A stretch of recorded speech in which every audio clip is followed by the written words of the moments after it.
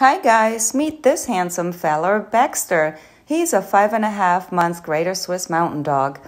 Uh, Baxter actually has already been through a little bit of puppy training with us, so he is quite aware and knows the basic commands.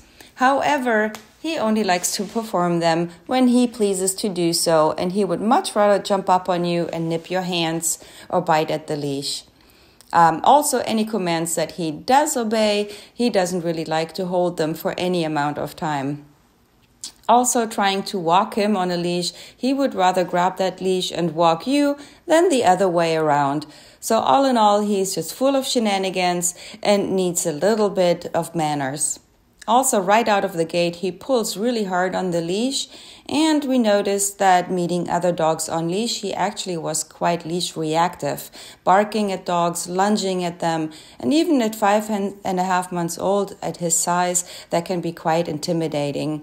So, we need to nip that in the butt before he gets really big. Can't wait to show you his amazing transformation.